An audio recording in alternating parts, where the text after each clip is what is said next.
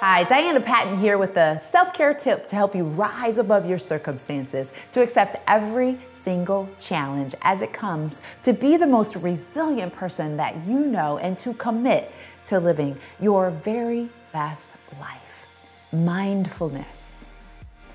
Being present in the moment, taking in every single ounce of every single day. It's called mindfulness.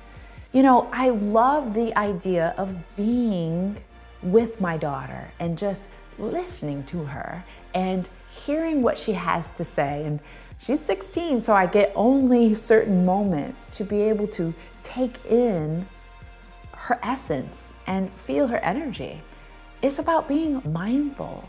Maybe, you know, you live in the Midwest and you only see the sun certain times of the year. And so taking in that time to be mindful of the sun is, is phenomenal. I love what Oprah Winfrey talks about in her recent book, The Wisdom of Sundays. And she describes mindfulness like this it means acknowledging only what you're experiencing in the moment. The true power of staying in the now means that you resist projecting what might happen and lamenting past mistakes. That takes effort.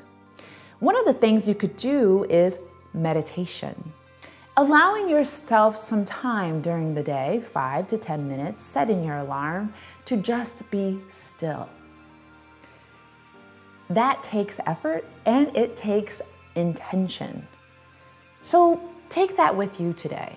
Set your alarm for five to 10 minutes or realize when you need to be in the present moment.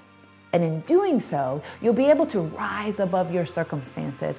You'll be able to accept every single challenge as it comes. You'll be the most resilient person that you know, and you'll be able to commit to living your very best